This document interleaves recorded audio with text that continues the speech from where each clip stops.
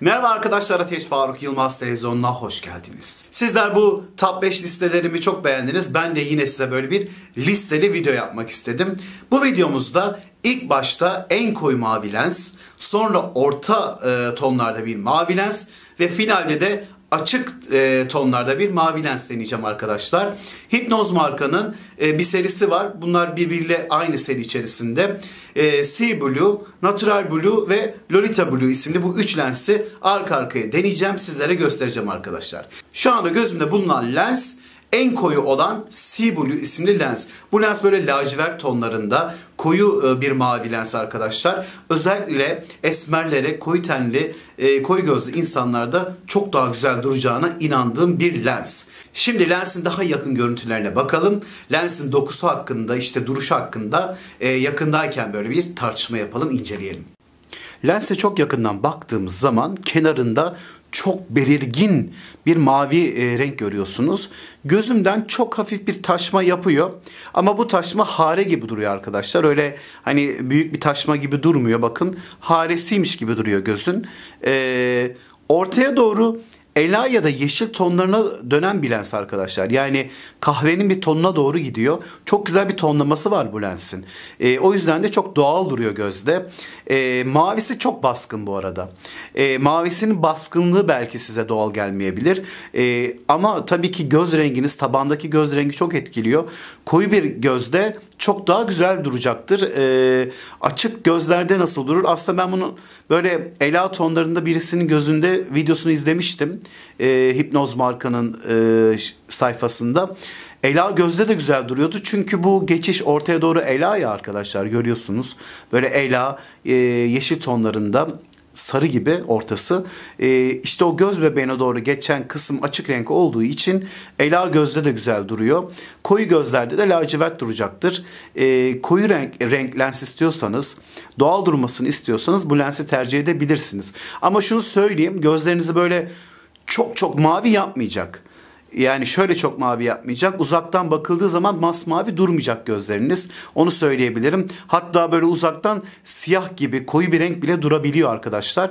E, yakına gir- geldikçe rengi belli oluyor lensin. Şu anda da e, pencereden gelen ışık hafif bir de ring ışığımız var. E, bunun sayesinde dokuyu şu anda çok net görebiliyoruz. Çok doğal güzel bir dokusu var gördüğünüz gibi. Ama lens e, herhangi böyle oturma mesafesinde masmavi durmuyor arkadaşlar. Lacivert tonda koyu bir mavi duruyor. Onu söyleyeyim. Eğer gözünüzün rengini mavi bir şekilde açmak istiyorsanız bu, bu lens uygun değil. Bu daha çok koyu tonlarda koyu renk lens istiyorsanız uygundur arkadaşlar. Onu söyleyeyim. Ee, yok sonra hani aldım gözümün rengi çok açılmadı diye üzülmeyin. Çünkü çok göz renginizi açmayacak bir lens ama e, belirgin bir şekilde gözünüzün rengini değiştiriyor bu arada. Hani tamam oturma mesafesinde çok masmavi durmuyor ama gördüğünüz gibi göz renginizi tamamen değiştiriyor. Yani yakından bir insan size baktığı zaman bütün bu dokuyu görebilecektir arkadaşlar. E, doğallığı çok güzel. O yüzden ben bu lensi seviyorum. Gayet güzel bir lens arkadaşlar. Koyu mavi renkte tercih edebileceğiniz bir lens. Bu arada konfor açısından Hipnoz marka açık ara birçok markadan önde olduğu için e, ben çok beğeniyorum. Sürekli de kullandığım bir marka. Sizlere tavsiye ediyorum arkadaşlar. Şimdi bu lensi çıkaracağım ve orta ton olan Natural e, Blue isimli lensi takacağım.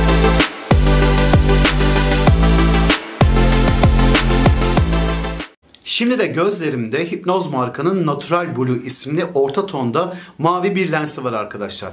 Bu arada bu serideki lensleri böyle hani Hollywood Baby Blue'lar ya da ne bileyim Ida gibi, e, Efes gibi, Aurora İstanbul gibi masmavi olarak değerlendirmeyin. Bu lenslerin hepsinin içerisinde hafif yeşil tonları, hafif ela tonları olan böyle 3 ayrı renkten oluştuğu için tamamen masmavi ya da tamamen işte böyle yemyeşil durmuyor arkadaşlar. Geçişli bir lens. O yüzden e, hafif böyle insan gözü gibi bazı insan gözleri mavi, yeşil arası olur ya. Bu üç lenste de bunu görüyorsunuz arkadaşlar. E, şu anki gözümdeki Natural Blue isimli lens hafif yeşilimsi de duruyor. Işıktan ışığa değişiyor. Bunu da baştan söyleyeyim. Bu arada lenslerin duruşlarını hep size söylüyorum ya. Saç renginiz işte ten renginiz çok etkiler diye. Benim normalde saçlarım e, kumral ve uçlara doğru güneşte açılan daha bir açık kumral olan bir e, saç rengim var. Fakat ben e, birkaç gündür saçımı simsiyah yaptım. E, böyle böyle kış oldu bir, bir simsiyah olsun dedim. Kendi kafamdan öyle bir şey yaptım. Şimdi lenslerin duruşu bayağı bir değişti arkadaşlar. Yani buna kendim şahit oluyorum. Bu lens bende masmavi gibi dururken şimdi koyu renk durmaya başladı saçımın koyu olmasından dolayı.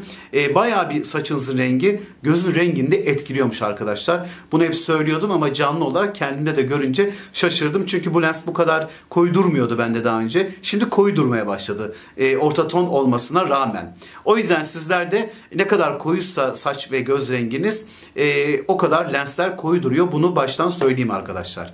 Şimdi lensi daha yakından e, görüntüsüne bakalım. E, detaylarını bir inceleyelim bakalım lensin rengi nasılmış.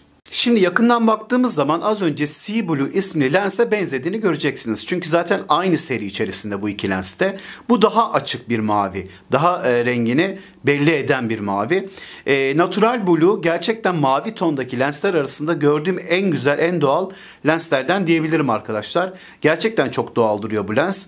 E, kenarı tamamen maviyken ortaya doğru yeşilimsi bir ton var lensin içerisinde. Zaten insanların gözleri de genelde mavi ise bile yeşile dönen yani içerisinde birçok ton olan gözler vardır. E, bu o gözlerden taklit edilerek yapılmış. O yüzden de natural duruyor.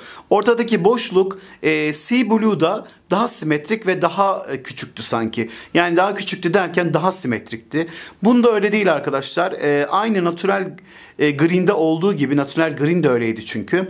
E, biraz böyle e, girinti, girintili çıkıntılı yani tam olarak ortadaki merkez e, simetrik bir yuvarlak değil hafif girintili çıkıntılı yapmışlar. Bunu yapma sebepleri genellikle şöyle oluyor. Hani gözünüzün alttan gerçek gözünüzle daha böyle uyumlu dursun. Ba- e, insanların gözleri göz bebeğine doğru koyulaşıyor ya genellikle. Oradan böyle çizgiler falan oluşuyor ya. Onu taklit etmek amacıyla yapıyorlar.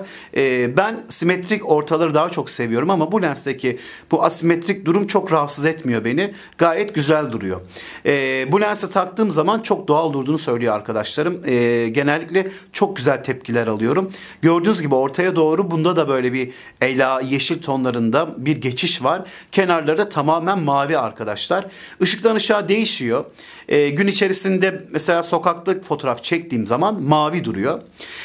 E, ama biraz ışık loşlaştığı zaman griye dönüyor arkadaşlar.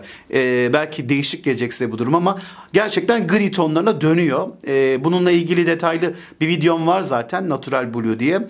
O videoda göreceksiniz e, birçok yerde çekimini alıyorum. E, kafeteryada işte spot ışığında gri olurken gece daha böyle gri tonlarındayken gün ışığında yeşil bir mavi gibi duruyor. E, böyle çok çok çok ışıkta hatta turkuaz mavi gibi gibi bile durabiliyor. Yani bayağı yanar döner bir rengi var. E, ama genel olarak tabii ki mavinin tonlarında arkadaşlar. E, o yüzden çok natürel duran bir lens. Adı da zaten Natural Blue. Tam da adına yakışacak bir lens yapmışlar. E, günlük hayatta çok rahat kullanabileceğiniz bir lens. E, herkes gözünüzü çok beğenecektir. Yani böyle lens mi taktın demeyeceklerdir. Gözünüze bakarken rahatsız olmayacaklar. Çünkü çizgi çizgi bir lens değil. Görüyorsunuz dokusu çok güzel. İnsan gözü gibi su gibi yapmışlar.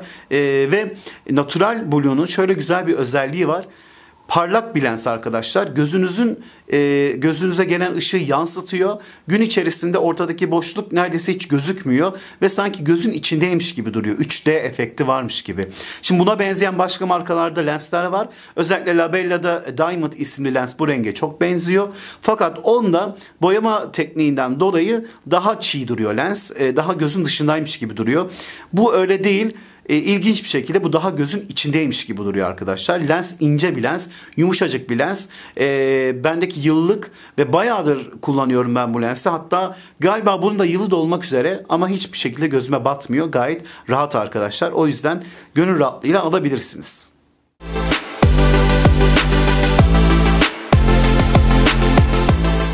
Şimdi de gözlerimde Hipnoz markanın Lolita Blue isimli lensi var. Şimdi Lolita Blue lensi e, böyle daha yeşilimsi turkuaz tonlarında bir mavi. Tamamen gözlerinizin rengini açıyor. E, saçım böyle siyah olduğunda bu renk bana biraz açık geliyordu daha önce. Şimdi tamamen böyle olması gerektiği gibi güzel durdu. Demek ki bu siyah saçlarda, e, beyaz tende ve siyah saçta çünkü benim tenim koyu değil e, ya da koyu tenlilerde de büyük ihtimalle güzel duracak bir lens arkadaşlar. Çünkü koyu göz renkleri çok güzel açabilen bir e, rengi var. Ben bunun rengini de çok beğeniyorum. E, şimdi yakın yakından çekeceğim. E, orada daha çok böyle değerlendirmesini yapalım arkadaşlar. Gördüğünüz gibi Lolita Blue e, böyle turkuaz mavi, yeşilimsi bir mavi e, tonda lens arkadaşlar. Yine kenarları masmavi, ortaya doğru turkuaz yeşilimsi bir rengi var lensin. E, lens çok güzel arkadaşlar. Gerçekten rengi gözünüzün rengini açıyor böyle bayağı bir açıyor. Haresiz olduğu halde bu üç lenste e, kenarlarından koyudan açıldığı için renk hare varmış gibi duruyor. Aslında tam hare varmış gibi de değil de e, böyle tonlandığı için e, gözünüzü çok güzel gösteriyor. Çünkü bu beyaz e, kısım var ya gözümüzün şu beyaz kısmı. E, eğer orada bir tonlama yapılmazsa lenste maalesef çok e, öcü gibi duruyor. Ne bileyim ölü balık gözü gibi duruyor. Ama bunlarda öyle olmuyor. Tonlama var çünkü. Üç ayrı ton var lenste. Bu lensle ilgili şunu söyleyeyim. E, bu, ne, bu lensin rengine benzeyen Labella markada Lazort diye bir renk var. Hatta e, ilk lens videomu ona çekmiştim. E, yok ona değil Pixel Blue'ya çekmiştim sonra ona çekmiştim. Şimdi bu zaman içerisinde tabii kullana kullana bütün markaları Labella'nın e, çok fazla batma yaptığını gözümde yanma yaptığını fark ettim. Şimdi eğer sizde de öyle olursa müthiş bir alternatif olarak Hipnoz markanın Lolita Blue e, lensini e, kullanabilirsiniz arkadaşlar. Birebir neredeyse renkleri çok benziyor. Bunun farkı e, daha böyle göze gözün içindeymiş gibi duruyor. O biraz daha kalın ve çiğ duruyordu. E, bu daha güzel boyanmış. Bir de konfor açısından çok daha rahat arkadaşlar. O yüzden size tavsiyem e, bu renk alacaksanız Hipnoz'un Lolita Blue'sunu alırsanız daha gözleriniz rahat edecektir arkadaşlar. Lensin rengi hakkında daha fazla bir şey söylememe gerek yok herhalde. Görüyorsunuz çok güzel ama çok güzel bir lens. Yine piksel piksel değil su gibi bir lens. Gözünüze çok güzel oturuyor. Ha bu arada ortadaki boşlukla ilgili şunu söyleyeyim. E, simetrik bir orta boşluğu var çok hafif böyle girinti çıkıntı var. E, çok dar bir lens değil arkadaşlar. E, o yüzden görme problemi yapmaz ama standartların biraz daha e, standartlardan biraz daha dar diyebilirim. Çoğu lens çok geniş oluyor biliyorsunuz ki. Bu e, alttan gerçek gözünüzü çok göstermiyor. Gözükse de renk güzel olduğu için böyle e, rahatsız edici bir şekilde durmuyor arkadaşlar.